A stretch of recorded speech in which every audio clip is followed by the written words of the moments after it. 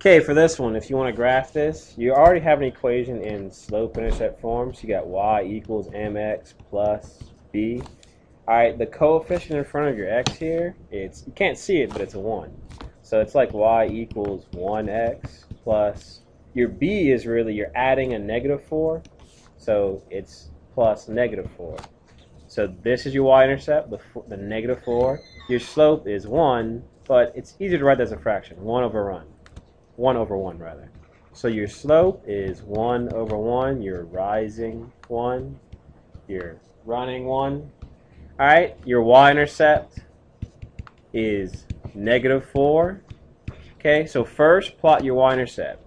Negative 4, so we go on the y-axis, go to negative 4. That's 1, 2, 3, 4. Plot that here. Then we want to rise 1, run 1.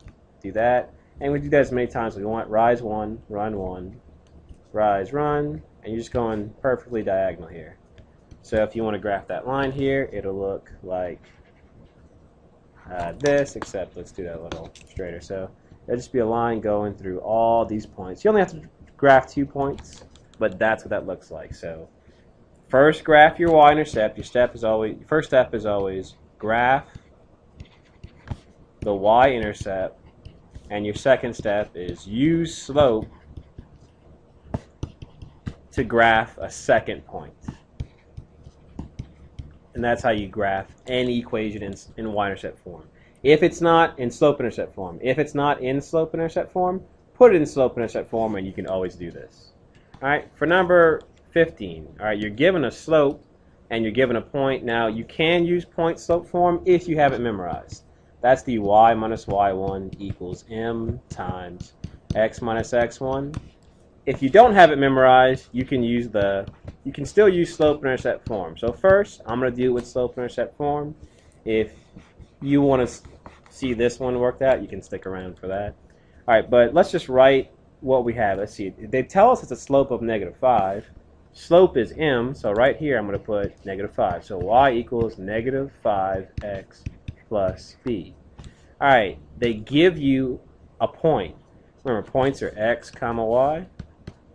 So the x, we could substitute a 2 in. So this is negative 5 times 2. We don't know what b is. We're solving for that. The negative 3, that is a y-coordinate. That is not your b. It's not a it's not a y-intercept because it'd have to be like 0, negative 3 for that to be a y-intercept. Here, in your y, you put negative 3.